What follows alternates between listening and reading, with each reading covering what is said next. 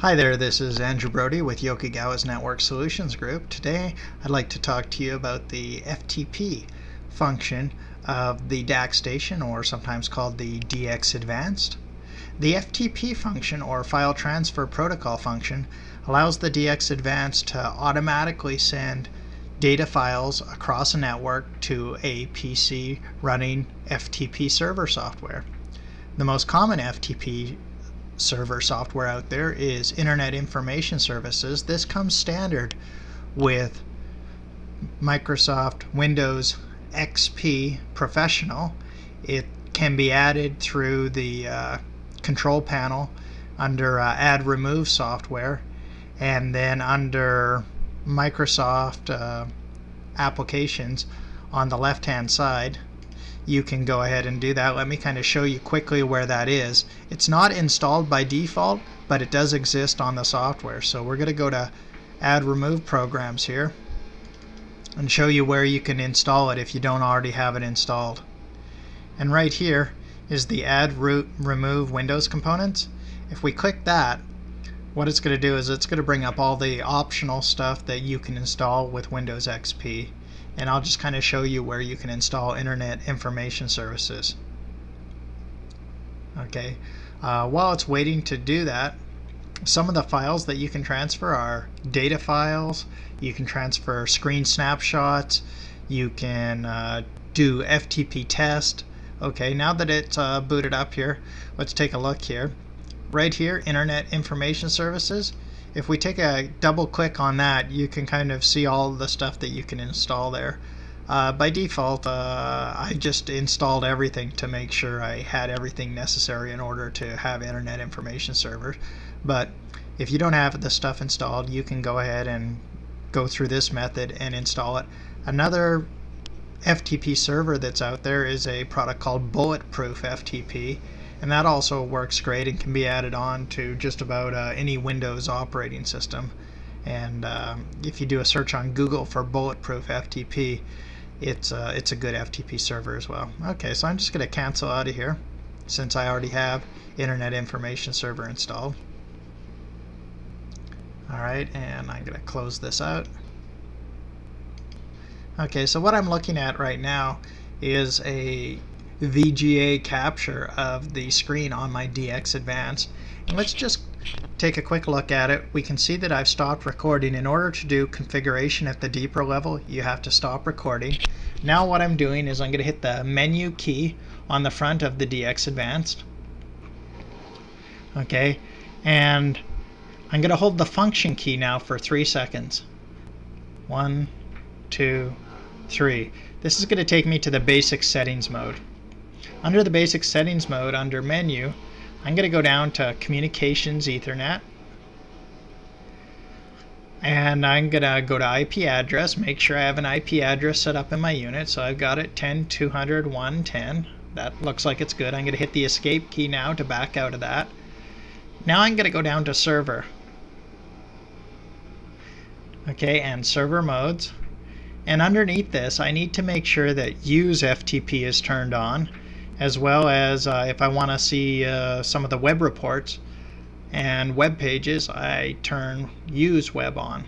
Okay, so now I'm going to escape out of there. Uh, next thing I'm going to go down to is FTP client. I'm going to pick that, an FTP transfer file. I'm going to pick what type of FTPs I'm going to allow to do. So I'm going to say send uh, display and event data, send report data, and send any screen snapshots I can take after a data file is closed out, below it's basically saying how long to wait before sending it. So I'm saying as soon as you're done making that file, saving that file off, I want you to send it. Okay, I'm going to escape out of here. Next, I'm going to go down to FTP connection. Let me explain a little what's going on here. You can set up a primary and a secondary FTP connection. If you take a look down in the bottom left corner there, you can see uh, I'm currently selecting primary, but what uh, the DX Advanced allows you to do is let you set up two different servers. So it'll try the first server or the first connection. If it can't send the file to the first connection, it'll try the second connection. If it can't get to the second connection, it'll wait till the next go around where it closes off another file. Then it'll attempt to send all closed files. So looking at what we've got configured here, I put in the IP address of the FTP server. This is the IP address of the adapter that's currently set up to receive FTP files. If you have a laptop or a PC with a couple Ethernet ports on it, uh, then make sure that this is the IP address of the jack that's listening for FTP traffic. Port 21, that's standard for FTP, but if you happen to change it on your FTP server, make sure it matches up here. Login name. Uh, this is important to know here. If you set up a local account on your PC, then the name of the PC is going to be its domain. So in this case, the name of my PC is CPC 551-000-0898, and the user is called FTP. So this is a user I've set up locally on my PC.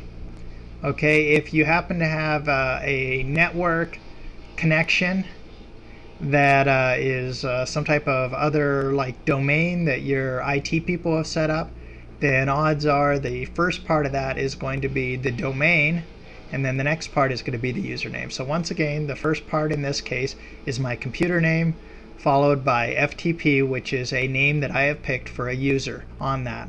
Password is just the password that I've given for that particular user.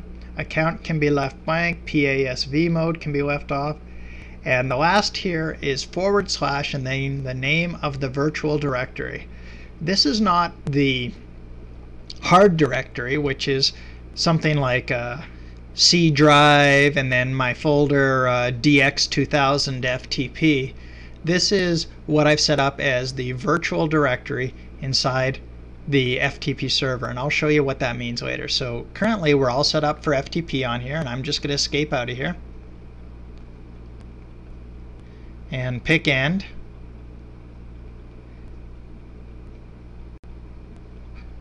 Alright, now that I'm backed out of here, let's go to Internet Information Services.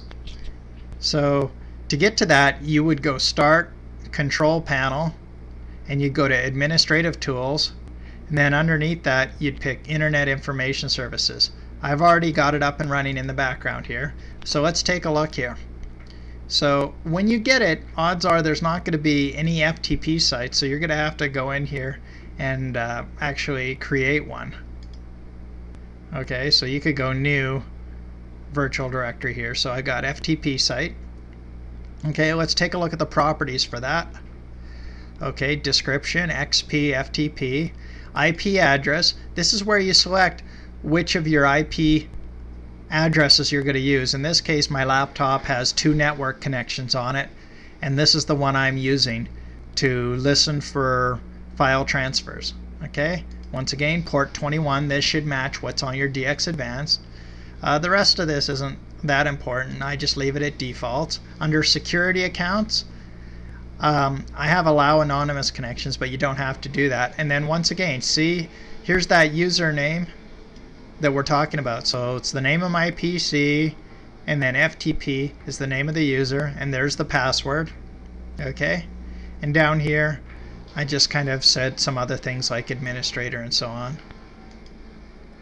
Messages, I don't have anything there. Home directory, this is just default where they make a uh, directory on most PCs that have Internet Information Services installed. So I'm just going to go OK here. Now here's some of those virtual directories that I created. So under this I went new and I went virtual directory okay to create that. So let's take a look at this virtual directory. So it's a directory located on this computer and there's the actual physical path. So you can see that the virtual directory name, which is what we use inside the DAQStation, is different from the hard address here. So in this case, C colon backslash DX2000 FTP is the actual directory sitting on my computer here. So we can see right there, that's the actual directory. Okay? Alright, I'm going to allow people to read, write, log visits, stuff like that to it. You can see I've created some other ones here for like my MW100 DAQMaster, the older DAQStation 200. So I've created some virtual directories so I can have my DX2000 dump files here, my MW100 dump files here, and my DX200 dump files here. Now, if you have multiple DAQStations, you'd most likely create a virtual directory for each one of them so that they could each dump to their own directory so that you don't uh, confuse your files or have files from the same from different recorders in the same directory. Okay, so what I've done here is I'm going to bring up my computer. I'm going to go to the C drive. I'm going to go to the hard directory sitting on my C drive, and you can currently see it's empty. Okay, what I'm going to do is I'm going to bring up my DAQStation interface as well. And what I'm going to do is on my DAQStation, I'm going to hit the function key. The function key is going to bring up a little message, a set of uh, menus on the bottom, and I'm just going to go next here. And uh, I'm going to go next again. And the last selection we can kind of see here is something called FTP test. Okay, this button, once FTP is enabled, allows me to send a demo file across to see if my FTP connection is working. If it's working, we should see a file show up in this directory. So I'm going to hit the FTP test button now. And if everything works, and I'm going to pick primary to send to my primary server that I've set up. If everything works, it should say that the execution is complete, and we can see over here that the file has shown up. So now in the future, if I start and stop recording, that's going to create a file. If I've got it set to create a file every hour, when it closes the file out every hour, the file is going to stop. If I hit the function key again and I say snapshot, it's going to take a snapshot of the screen and send it across. And we can see right here that it took a snapshot of the screen. Okay, so FTP is set up. This is Andrew Brody with Yokogawa's Network Solutions Group. Thanks for watching.